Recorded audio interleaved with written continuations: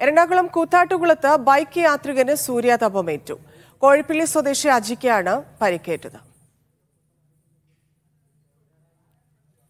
മൂസിന അസു ചേരുന്നു മൂസിന എന്താണ് ഇദ്ദേഹത്തിന് പറ്റിയത്? ചികിത്സ തേടിയോ? വിവരങ്ങൾ.